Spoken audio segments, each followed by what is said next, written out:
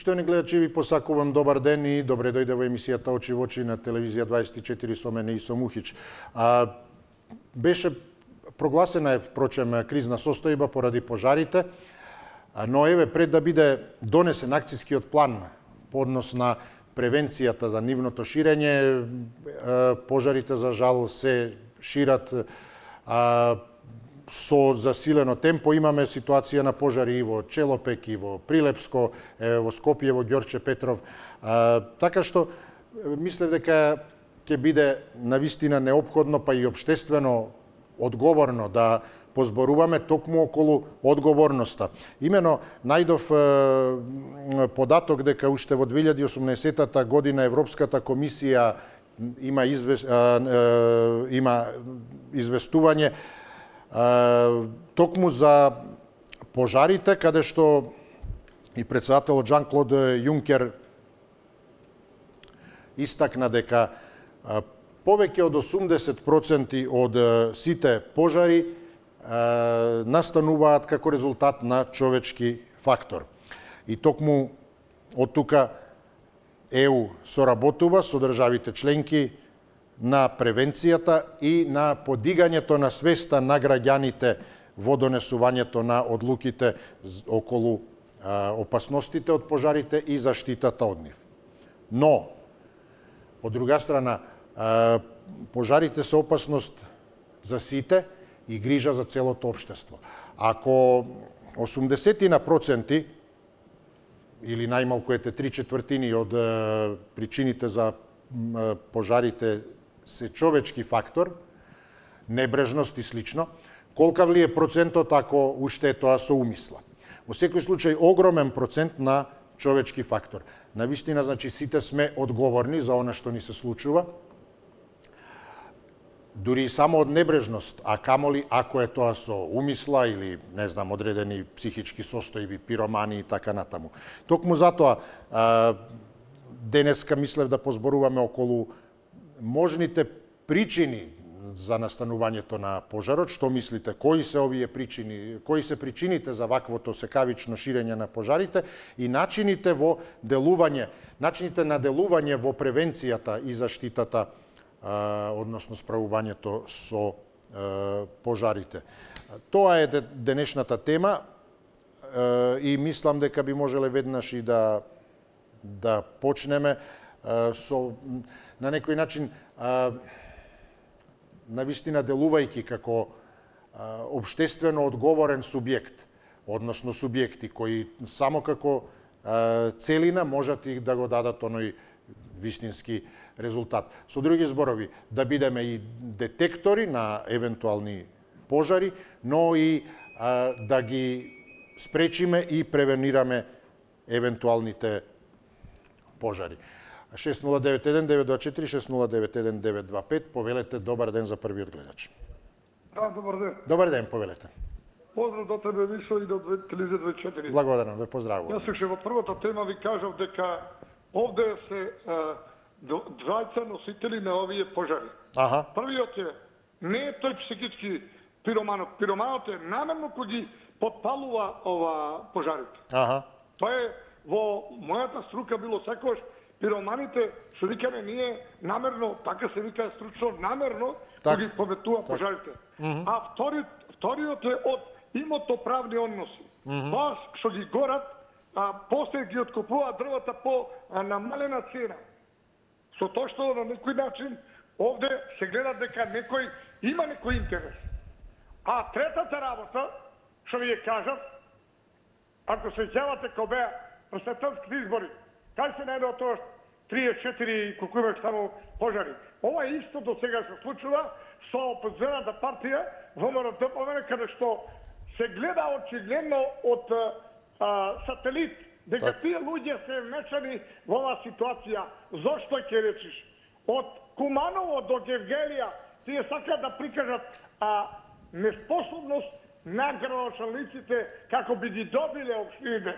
Али тоа е срамно за Република Северна Македонија, со тоа што некој што сака да ја запали Македонија. Дајте ве луѓе да се грижиме за ова рутка земја. Доста тие политики оставете ги. Зошто Овие луѓе сега од Источна Македонија, знаеш ти, колкавај стравој, колкавај а, се претркале. Тоа е претрпено страв од овие опасности.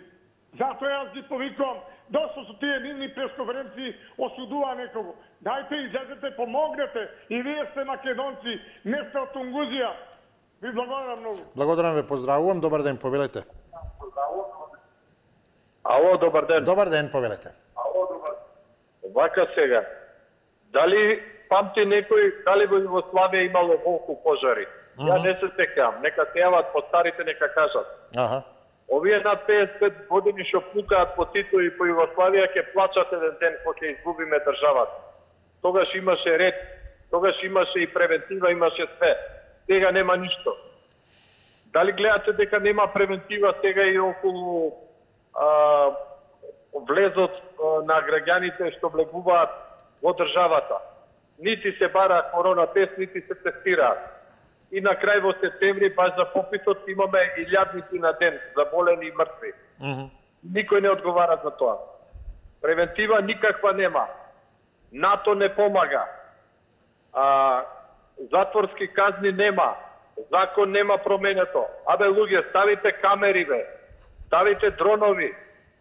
А, немо, невозможно е толкава поросина и секој ден на различни места а, да има пожари. Сето тоа е наместено.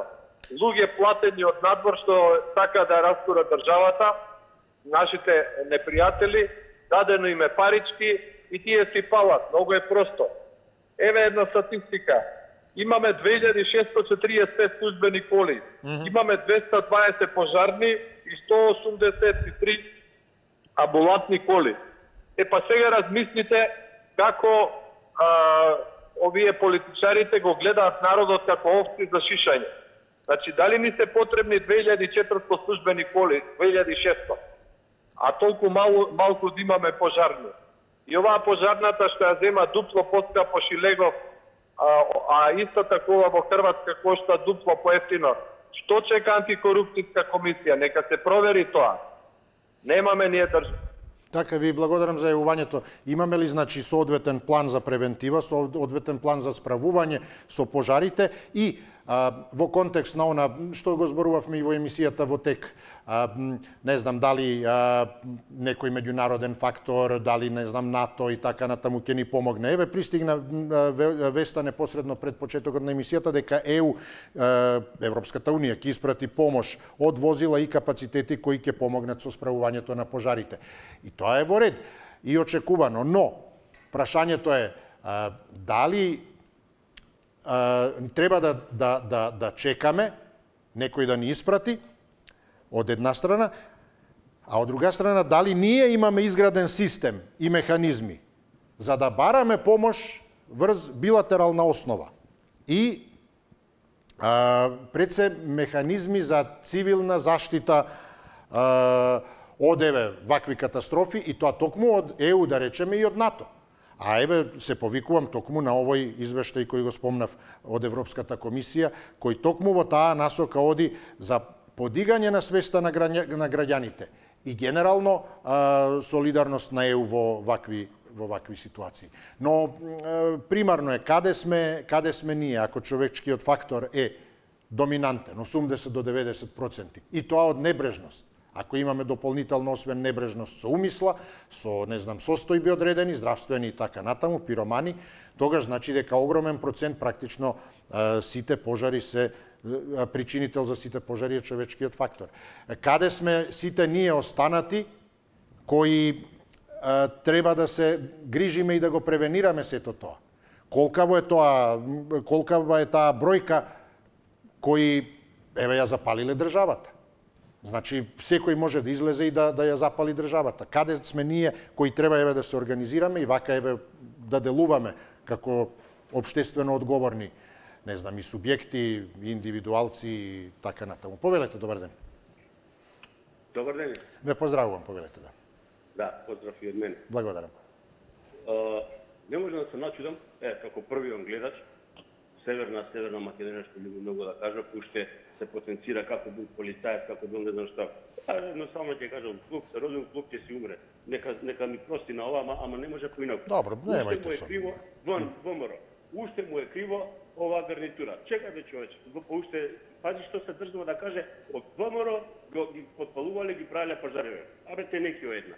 Па ако толку се слушаше гласот на ВМРО, како да се како не го смени не успеавте и уставот и со уставот и 300 други закончиња да донесете без ВМРО, а сега ВМРО ви е косница те за пожарна, те за пожарникари, те за ова, те за она, па Се слушаме, тука сте. Предпоставам дека се исклучи гледачот. Добро, одиме со следниот. Добар ден, повелете.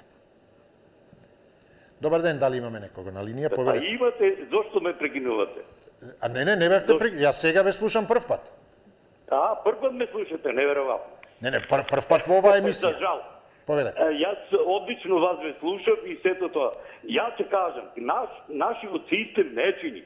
Не е онај правиот систем. Не можеме ние да бараме општенародна одбрана, општенародна заштита, ако ништо овај нема заедничко со тоа. Тоа беше заедничка имовина, имот, заеднички имот, се беше наше, денеска треба да биде се нечие. Но едно да сватат сите во системот, од учен до најнеучен, дека нити може да биде се наше, нити било, нити ќе биде, нити ќе биде се негово или нечие. Затоа што држава кога постои, систем кога постои од робовласнички до не знам како, он си има свој правила на однесување и, и од тоа.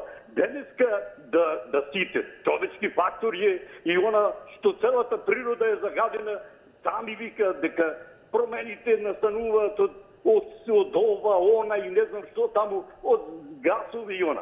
Да се пала чуми и тоа го има, се има. А, се, дека ќе има противници, сигурно ќе има и она сето. Но денеска, може би е најважно она морал. И она никој не го преведе тоа што е емпатија, што значи држава. Емпатија е сочувство, не само сочувство, него и учество во болката, во тагата и во ова да се, да се Така. помогне во моментот. Но денеска тоа е, индивидуално. Денеска само напаѓаме со лопата и она. Па зошто? Кога имало заштита, кога сето државата, кога рече дека се ќе ни реши она, пазарната економија ќе ни ги реши проблемите и ќе купуваме ефтино, скапо и не знам како. Се ќе ни биде речено. А поготово, кога ќе појдеме во таа Европската заедница, во нашата убавина, е, о, препорачена и кажана, дека се ќе ни реши, а она нече, неверојатно е. Македонија треба да иде Македонија, собствена нација, собствена држава и собствено светска Така ви благодарам за јавувањето. Еве не бевте прекинати, ниту имаше причина да бидете прекинати. Го искористивте целото време и никој е, не е прекинат пред да биде вклучен. Откако ќе биде вклучен, веќе зависи од него. Едноставно само додека се еве усогласиме и искоординираме додека заврши едниот, па да биде вклучен другиот. Повелете, добар ден веднаш за следниот. Добар ден, почитуван водител. Поздрав, повелете. Таман за врто одма доби да те кажам искрено. Аха, Ова испаѓа на умрен да се смееш, на жив да плачеш.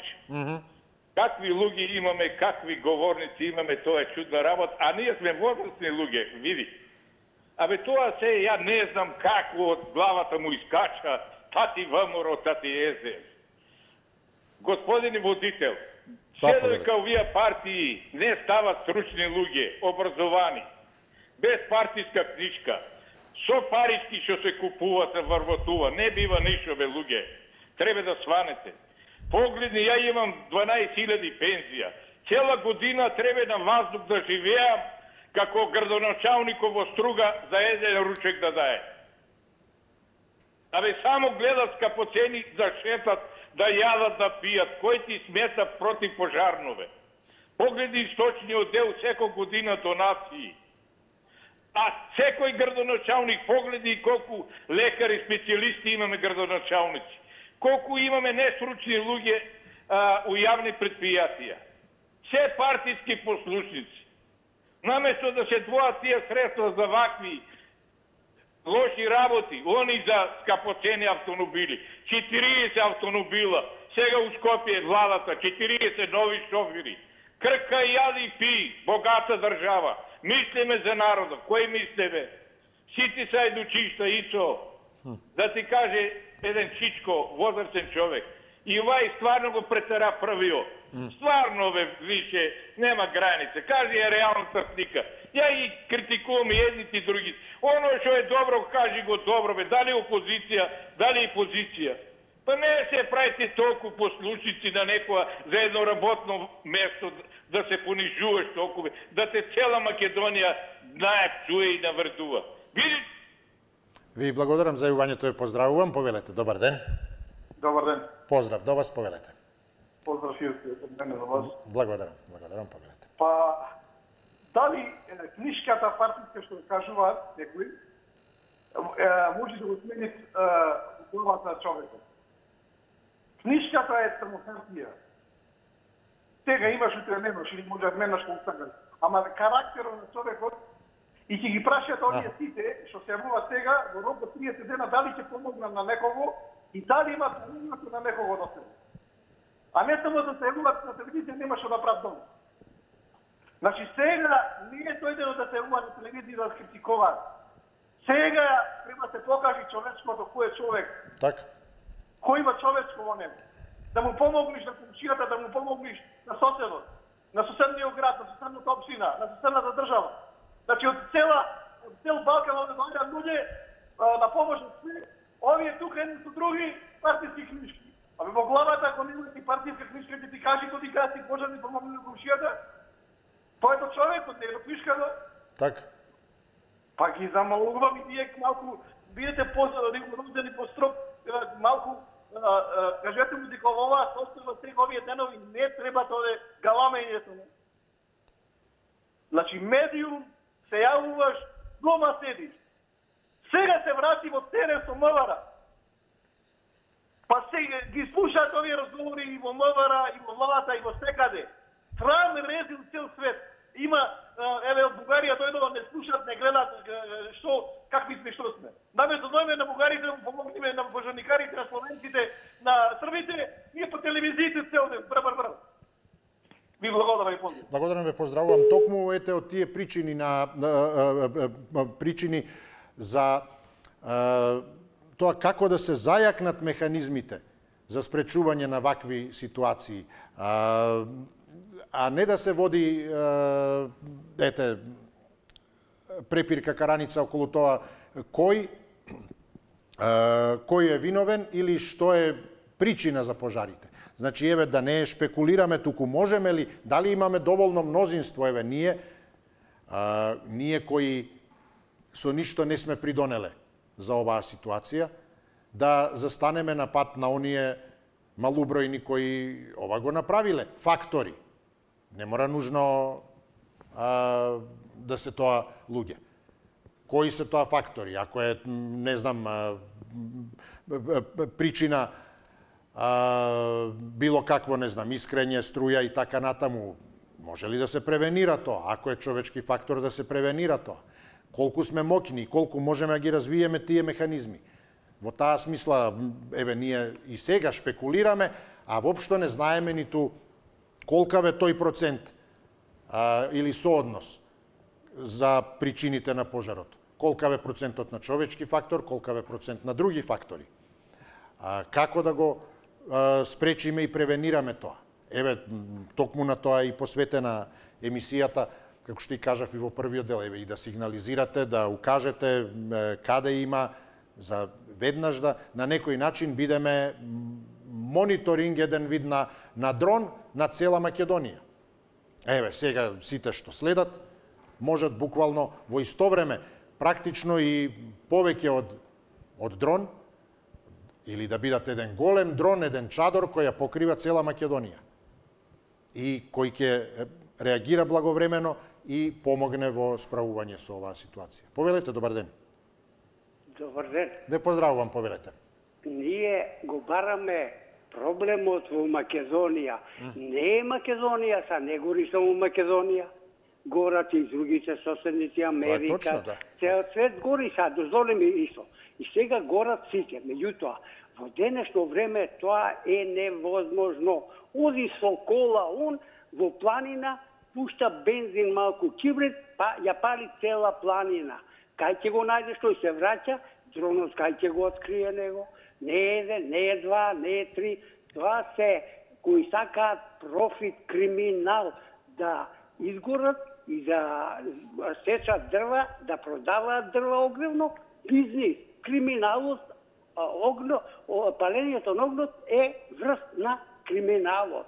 Затоа што порано се одеше на луѓето да се уништат луѓето да не шират добрина, него лош. Ние знаеме дека нема ни една емисија дека ние Македонија фондовите на Србија и на Хрватска и на Босна на Словенија, ние ги пълневме. Ги пълневме ние. И сега уни ќе ни дале инекции, ќе ни дале, а, не знам, помош а, а, за да превенираме за пожарот. Ние работевме како а, а, а, вакви во Југославија бевме заедница. Само нашиот председател беше Робови бевме. Немавме право да увозуваме.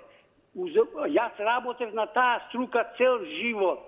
Цел живот работев и ќе ни донесат Словенија, Хрватска, Србија нас пет пати поскапо 10 пати. Буџетот нас е 4 милиарди. Зошто? Ќе купи, викавме од Слове, од, од, од Струмица. Така, истече времето. Ви благодарам, ве поздравувам. Добар ден, повелете. Добро ден, Исо. Повелете поздрав до вас. Поздрав до тебе, поздрав до сите вработени, поздрав Благодарам. до сите присутни на вашиот и нашиот екран. Ви благодарам. Телевизиски. А, прогласена кризна состојба во ред. Е сега можни причини за за делување и превенција, тоа е многу тешка работа да можни да причини за пожарите и начини како да се делува за превенција и справување. Е, па тоа, тоа, ама не може превенција, види, за цела територија, ти не можеш да бидеш чувар, да ме разбереш, Исо. Не можеш да бидеш да чуваш ти цела Македонија од некој пиромани или некој што намерно сака да створат по државата. Е, не мора тоа да биде јас што го говорам. Така. Некој има луѓе што еве Што секако има, која е на власт, пример не ја сака. Власта и сега да створи да створи состојба во која еве власта не е способна да се справи со со огнената стихија, власта не е не е способна да се справи со други работи, така да и тоа се прави намерно. Може би е намерно, може не, еве, не нема да да бидам сигурен, дециден дека тоа е намерно. Mm. Ама има и случаи што се намерни вакви. И сега одма веднаш од натрешно македонска револуционизација изјавува дека Стојанче е виновен, па сук центар за управување со кризи, а он си управува со кризи. Ете полиција, ете војска, ете се, ете одстранство. Јас само сакам да напоменам дека еве во другите држави, ете Калифорнија повторно гори, еве Грција гори неколку острови во внатрешноста. Турција имаме и жртви, еве и кај нас имаме Господ да каже, прости имаме една жртва во Старо Нагоричане. Така да, ете, тоа е ситуацијата што народ, ние треба свесни сите да бидеме, ама тоа не е можно. Ова ќе се случува и секогаш, пожарите биле 365 дена се пожарите во, во годината. Ако не се кај нас се во Австралија. Ако... Ви благодарам, ве поздравувам. Добар ден за следниот гледач. Повелете. Ало, добар ден, добар господин Исо. Да те поздравим многу, мило ми е што се врати, што е, си добар. Еве паси со нас, да ти кажем, многу ни недостасуваш. Ево, вај огња многу не кара, да ти кажем. Не, ајде на темата, ајде на темата, али вие свака ви част, значи, голем поздрав. И таа еден тука плачко да го опоменем на сите телевизии да сме шле да гасимо. Па вајде ако види некој комшија, не дај Боже, па сите ќе трчимо, само седите на телевизорите збори. Па он зашто седи? Зашто се јави на сите телевизии и све он ќе ве учи како да работите. Па нек си се јави, зашто да се не јави? Кој може да се јави да си добие врски, ќе си се јави, ќе си каже, ево овој пожарите, овој стварно страшна работа. Но ти кажам, господине, ја овој ги слушам нели од Сабајле на сите има овие пожари и гледам и на телевизија. Овој мене ми се чини, не верувам некој човек да направи партиски. Тој треба некој да е фем без душа. Ово е као што викат стари Божја работа, Јас знам овај празник многу слават, пошто ја деда ми е таму манастир, таму сам школа учила, мислим, у Свети Јаким, ја многу тие работи веруем. Мајка ми се викаше Илинка. И Илинден ја, ама еве сега болна бе и од корона и операции и се. Ја пастана да отидем на Илиндин, мислим, у црква, да се помолим, да имаше народ стварно не е како други години, али па имаше, нели, има народ, поштуваци и знам, нели, тие горешници се пред тој и ова е многу страшен празник, од стари сам чува, ни се работи, ни, еве, како баш на тај ден се погоди. Еве, сек малце, нели да бидемо, не сум суеверна, на пример, мене се и децата ме кажат, леле, ти си мамо суеверна ти овој, абе има нешто, викам, еве, празници, нешто си има, никој не знаеме што, али поштуј да празникот, не мораш на тај празник да работиш, не мораш на тај ага, празник ага. да, да идеш од беда, на пример, нема ништо, јас знам една жена у канцеларија, мислим, работеше му заедно и не знам нешто што прозбори, ја викам, ајде Господ, како ово, оној, она кажа такви тешки работи, жената за три дена на бирото тапцу отишла, викам, леле, овој стварно, еве, па ќе кажем, да не се некои, да, да, се смеат, нели, али нешто се има и за тој да не нападат едни други, овој, па ќе кажем, а оставите ги партија. Така, ви благодарам, ете, но повторно велам, кој да е, што и да е причината, ете, она што мораме да го направиме и како институции, а и како поединци, и како еве медиум, заедно и вие дел барем од овие емисии, да се обидеме најефикасно да го ставиме под контрола. Не помина, или едва и помина два часа откако зборувавме во емисијата во ТЕК и токму околу прогласувањето на кризна состојба и тој акцијски план за превенција на ширење од нови пожари и ставање на под контрола на активните, а еве веќе имаме хаотично ширење на пожарите и во други делови од земјава, и Челопек, дури и во Ѓорче Петрово, Скопје, Прилепско слушам и така натаму.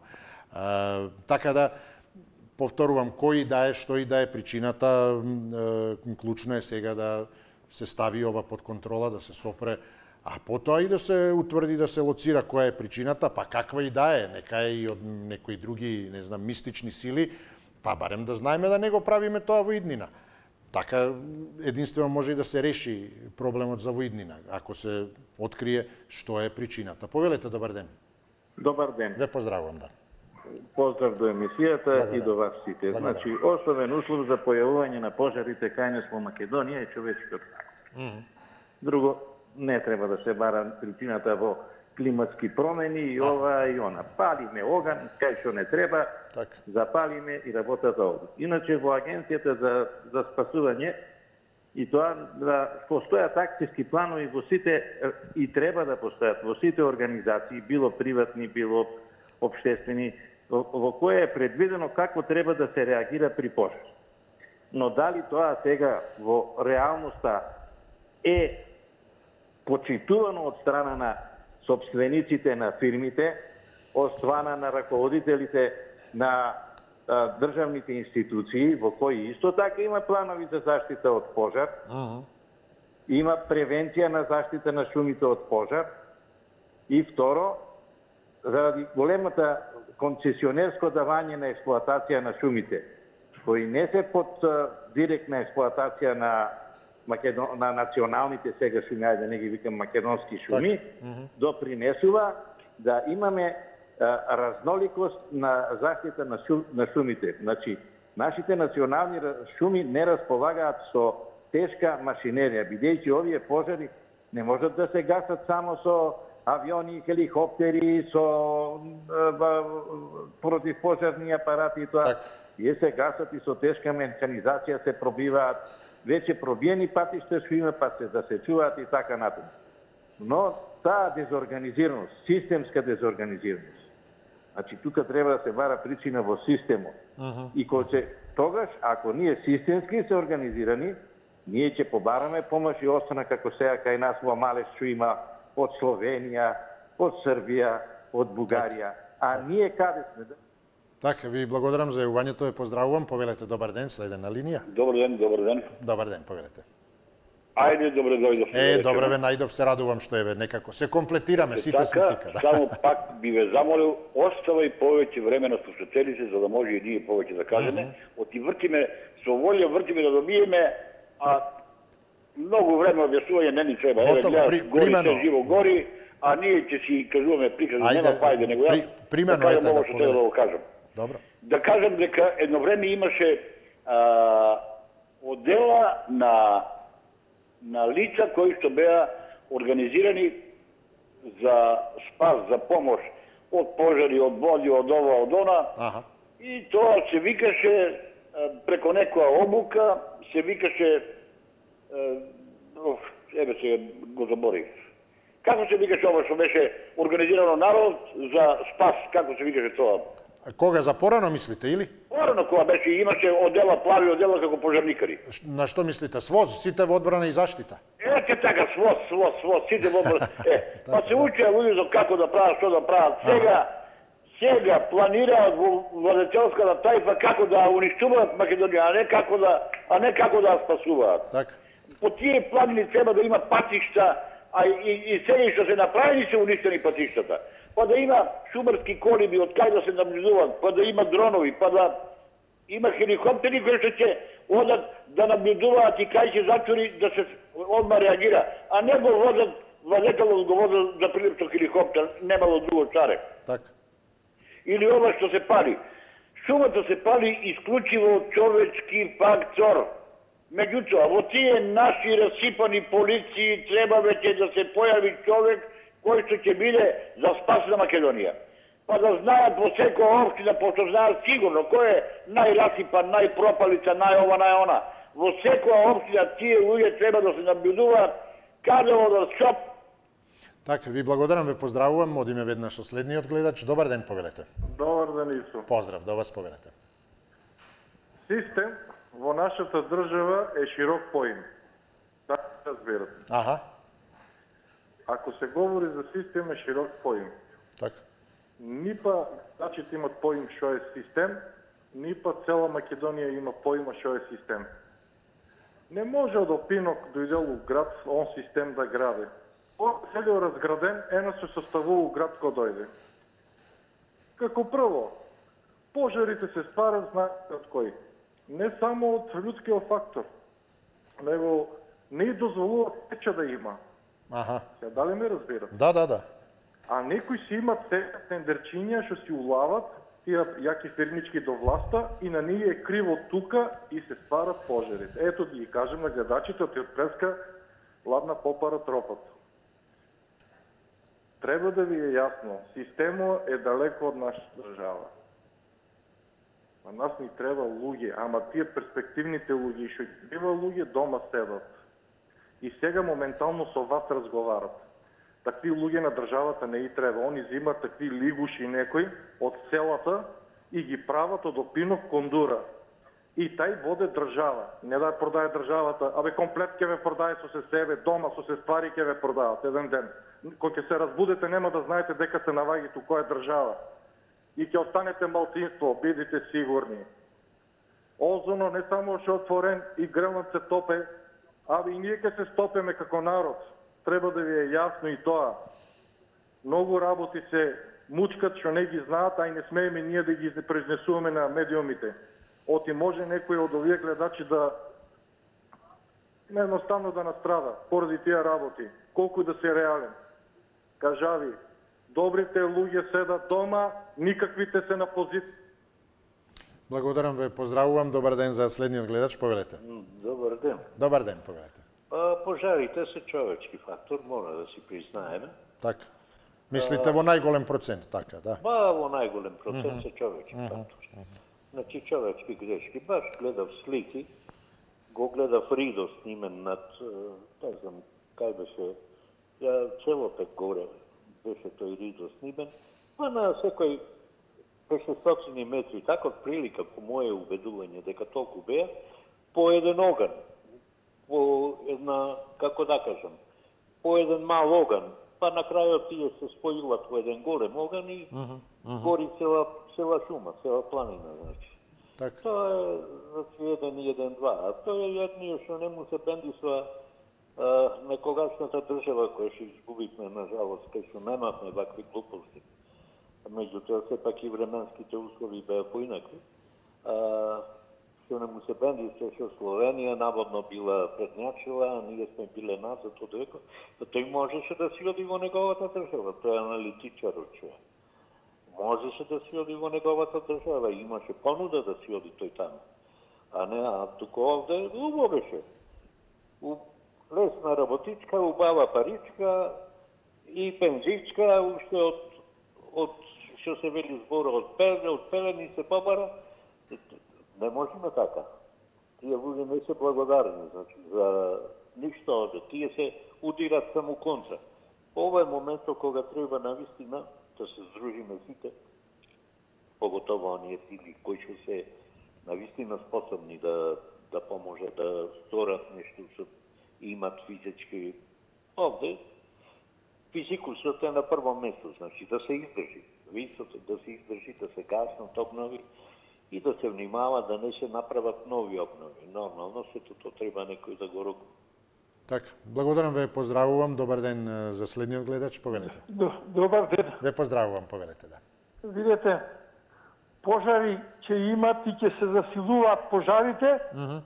се додека нека се нема да се роди некој Тито. Затоа што во Југославија како може да се случи во Југославија негде пожар да има немаше шанса. Зошто немаше пожар? Затоа што полицијата беше на улица, полицијата беше на терен. Шумарите беа во шумата. Сега шумарите се во канцеларија, полицијата во канцеларија. Јас имам прилика ми полициска, шумска полиција да сретам, викам, зашо не, не шетате ни шумана кај што се сечи, кај што се пали? Не вика со кола само кај има асфалт, таму одиме, на друго место не влагаме. Ага. Ете, тоа е, тоа е тоа што се пали огнот. И друго, треба да се примени јажето од Садам Хусейн. Кој како ќе се пати, таму кај што запалил, да се однеси на дрвото да се обеси. Да влезни страх во тие што палат, дека знај дека таму ќе гори и тој. Ова е човечки фактор дека не кажува никој приказки, дека сама се пали планината и шумата и, и земјата. Тоа е намерно палење, затоа што не функционира власта. Безбедноста е на нула. Односно, со на власта тоа го прават. Не можеш ти пустош да правиш со камиони дрва крадат. Концеси дават еден на друг, еден на друг, не се знае на крајот кој е тој што што користи таа концесија. За главниот 100 кубика, за државата 5 кубика ќе, ќе внесат таму во стовариштето. Ете тоа прават. Затоа што власта изгуби, се изгуби. Нема беззаконие владе, Така, ви благодарам за јавувањето. Добро, ако е генерално човечки фактор, секако, не, нека си одговара според законот, не е по некој онака суд моментален на, на не знам расположение, но а, прашањето повторно се адресира токму до до таа превентива, што прават тогаш институциите. Тоа би можело да биде исто како и со криминалот. Ние ве сега тука на некој начин констатираме, се согласуваме дека во најголем процент е човечки фактор. И сега исто како за криминал да кажете кој фактор е што не знам некоја продавница е обиена. Човечки фактор, да. И тоа во 100%, значи не се обила сама продавницата или не знам некој друг фактор, освен ако не била вратата силно затворена, па ветер ја отворил и така натаму ги, ги дувнал парите. Во таа насока и ова, ако е човечки фактор, како што полицијата ги лови криминалците, ги фаќа и со превенција прави да се намали стапката на криминал, така и во овој случај, значи, ако констатираме како најголем процент е човечкиот фактор причина, дали потврлаат институциите и сите тие акцијски планови за превентива, но и ако сакате оне што треба пред тие акцијски планови да се направи, тоа е проценка на ризик во одредени области. Каде ризикот е поголем. Токму како и за криминалот. Во некоја темна уличка, во некоја зафрлена уличка, осамена и така натаму, ризикот е поголем дека таа ќе биде обиена. И токму со такви превентиви да се елиминира воопшто било какво и приближно вакво сценарио. Добар ден, повелете. Добар ден, господин Ве поздравувам, да, повелете. Добре дошли на работа. Е, ви благодарам, добре нашол. А, видите, дека не сме спремни, не сме спремни. Аха. Во сите области, па така и во против пожарната област. Меѓутоа, јас би сакал да решам сега само неколку зборови за еден друг пожар, Mm -hmm. кој дури многу касно го сватив од нашиве соговорници, дека не име на многу од нашиве соговорници грижа за пожариве, туку веројатно телевизискиот екран го употребува да си го згаснат домашниот пожар и проблеми. Mm -hmm. Благодарам. Ви благодарам за јавувањето, ве поздравувам. Имајте убав ден. Добар ден за следниот гледач, повелете. Добар ден. Поздрав, повелете. Добар ден. Работите се едноставни. Аха. Значи, прво треба да се зголеми бројот на ова што е шумска полиција. Mm -hmm. И така имаме административци што ништо не работат, над 150.000 колку се таму. Знаеме Рамковниве 20 години, над 2000 души зима плата не одева на работа, сега се преквалификуваат. Па дај нека се преквалификуваат по шумска полиција, по пожарникари. Mm -hmm. Нели фалат пожарникари? Што чека? Так. Ама не, они си бираат место кај што може да заработат за 10 животи. Тука е приказката. Значи, тука треба да се тргне. Возила да се скратат. Сите досегашни функционери што се обогатија, Нема им го имотот, стај ги у затвор. Што чекаат? Потекло на имот. Ете пари за возила, ете пари за брза помош. Да се скрати луксузот, да не може градоначалникот да, да троши кај сака да купува Мерцедеси како тој мерка од струга. Mm. И другиве. Или луксуз да си прави шинегов со дупло поскапи пожарни и да не одговара. Исто ти предлагам, сите овие што се јавуваат како првиот тој полицаецот сто пати ќе каже Северна, или тој Лјупче од Радишани, или некој други, што само палат една партија, а напаѓаат друга. Сите тие прашај ги исто слободно, каква корист имаат, зашто толку се гребат, им работиле внуци, синове, керки, што е работал? Овие мисии се да дадат идеи, а не да се гребат, да се лигава една партија за своја лична корист. Треба да се обединиме да даваме иде, идеални решенија и да се наградат пожарникарите не со 150 евра, туку со најмалку 1000 евра. Така, добро, ви благодарам, но еве сепак право на секого е да е, го употребува оној термин што смета дека дека ете му одговара во секој случај и официјален, така да еве да не ги будиме што би се кажало он, оние злите лошите духови и да се обидеме еве да со ладна глава токму се обединиме околу ова што го имаме. Дополнително гледате на и бројките од ново зараз, на ново заразени од COVID-19 кои исто така некако прогресивно растат во последниве денови практично како и пожарите кои се шират. Добар ден, повелете. Добар ден, ако имаме некога на линија. Повелете. Добар ден. Добар ден. Дали се слушаме? Повелете. Ало. Да, во програма сте, повелете. Ало, да, во програма. А на друг збор, на ајде сега знам дека сум јас. Да, да, вие сте, ајде, повелете. Ве поздравувам. Па, и јас се поздравувам. да, да, тоа ехо беше, веројатно доцни сигналот, да, така. Да, не, не, не, тогаш се уклучив, тогаш. А, добро, добро. Се, добар ден, друг имаше, ама изгледа да се тргна. Така, да, повелете. А, не е важно. А, јас би рекол дека ние немаме држава појче, ние немаме закони. Законите не важа за за тие што се важа законите само за сиромавите луѓе. За петело ако му го тепал некој пак ќе го казна, пак ќе го затвора. Или украл два гевреци. Иначе во спротивно, ако има закон, ако има закон, ќе се плаши тој да појде во планина на, на врвон горе да ја запали. Значи, закон да знае дека ќе го осуда 20 години затвор ако го види некој и, и чак и па, па полицијава па ништо не работи. Ве, ве и држава не работи, од државата почне од владата, од председателот на државата па надолу. Значи никој ништо не работи, не го интересира ништо. Значи, сега има секакви работи, сега има секакви е, инструменти да наблюдува, да гледа кој се движи во шумите, кој оди, како оди. Кај е полицијата? Нека му застани на патот, нека му застани таму в планина, нека нека шумска полиција, што вика, седа в канцелари, ода од овде донде да на асфалтон ги гледам секој ден, до негде ќе појда, а овие што си носа дрва, си носа со секој ден во, во, во цела Македонија.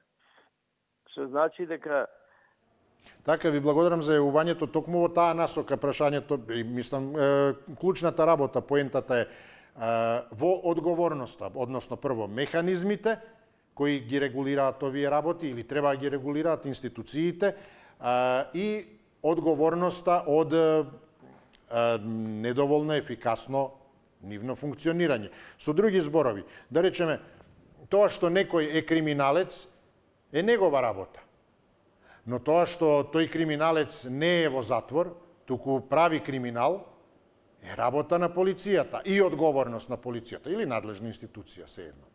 И во таа насока исто, но тоа што некој, не знам, зборува соодветно е негова работа или не соодветно, но ако е не соодветно работа на оној кој треба да го опомене е зошто не го опоменал или во случајот со пожарите. Ако е некој пироман, ако е некој од не знам небрежност, ако е некој од со умисла и така натаму. Затоа и велам, клучно е особено во, во оваа фаза да не се навлегува ни, ниту политички, ниту било како. А, тоа е нивна работа, но прашањето е зошто а, тие луѓе не се детектирани, не се санкционирани, не се спречени да го направат тоа. Повелете, добар ден.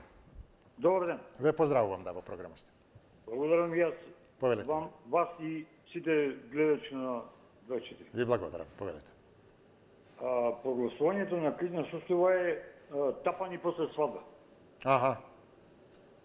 Ова а, кризна состојба или предкризна состојба требаше да се воведе уште кога температурите почнат да одат над 38 степени, uh -huh. кога почна тревата нагло да се суши и целата вегетација. Така. Кога се ствара најголемите услови, битните услови за, за, за, за пожар. Инаку пожарите 90% се подметнати. Тоа ви го тврдам јас како бивш професионален пожарникар. Аха. Како акал по планините и да, не да. само Да, да. Така да сум бил во ситуација да кога ќе го изгаснеме пожарот и на пола пад на враќање према е, пожарна, повторно да не мобилизира да се враќаме назад, затоа што наводно повторно, повторно се Да, да, да, да. запалува. Јас одговорно тврдам дека дека после 2 август Македонија е во обид да се стави на колена, да се доуништи со и финансиски и со сите ресурси. Ова е сценарио. Верувајте дека е ова сценарио. Затоа би требало надлежните добро да размислат кој заслужува да седи во тие раководни структури и фотели. Подобро е да си отидат и да не прават повеќе. Ви благодарам за јавувањето. Добар ден за следниот гледач. Повелете. Добар ден, имаме ли некого на линија? Добар ден. Повелете во програма сте. Добар ден и добро ни дојде, добро јуначе. Еј, добро ве нашол. Најсрдечен поздрав до господино пред мене. Аха. Но и најсрдечен поздрав до господино што сите зборови ми ги зеде, што го спомна ортомчето од Садам Худ, Ус, Хузеин. Поздрав од Киро Лиско, најсрдечен предраг господине. Секоја ти чест. Продолжувам. Исо, јас мислам, по моје видување, Лиско со образование ниско размислува и смисли вака. Дека заед и партијата, односно и сите негови работници, ви тоа дека како Ѓорđи Сугаре што е од сите страни сардисан, така да и тие се сардисани и сега не зна со нивната душа златна во која река матна да се фрла, да не ги вида, да не ги пронајда. Така да верувам тие сега дека тој тие одно ги разгорува и да кажа дека сега ВМРО еве ни руша авторитет. Значи едни со други се напаѓа. Јас имам една ситуација... Но добро, тоа не е ништо ново, еве, сега се пожарите. Па. Да. Како? Велам, не е ништо ново да се напаѓаат меѓу себе, зависно... Да, да. Но ова сега тоа е тоа, заед виде до кај дојден. Не Македонија и надвор од Македонија никој не го сака. Се колнеше со клетви, со 300 чуда, деца, устав не менуваме, најубав устав имаме. Се смени, се промени. Значи тоа е лажно невиден и дете во Чешка вика во Чешка едно дрво од шумата да е пресечено, пет години ригорозна забрана, пили да не сме да прелета. Ја колку пати, господине, прекрасен Исо, сугерирам, пријавувам и полицијата ми сугерира, вие сте вика тие што се запајчат сајте луѓето да работа рајат. Полиција од ромите, како е претепа сега, кога беше Колетовска, Повелешко, ги претепа командиро, ако не го претепа, ја не може никој да преземе мерки. Па ја вака ќе кажам, бидејќи ми течи времето. Од еден до последен и од едната и од другата партија сите во Аушвиц. Од Така, ве поздравувам, ви благодарам, добар ден. Ах, немаме, веќе истече времето за емисијата Очи во очи, да можеше вака да истече времето за пожарите, на вистина ќе завршевме голема работа. Но добро, можеме секако и мораме да завршиме, дотолку повеќе што без оглед на тоа што е причината да бидеме совесни и секој да го даде својот придонес, особено доколку станува збор за, за човечки фактор. Се се тоа поединци кои, особено ако не е од небрежност, мора да бидат детектирани, лоцирани за да се спречи ова да не се повтори. Јас се надевам дека еве вестите во 17 часот ќе ни донесат по позитивни новости дека нема нови пожари и ве поканувам да останете со Централниот дневник. Ви благодарам за вниманието и ве поздравувам. Довидување.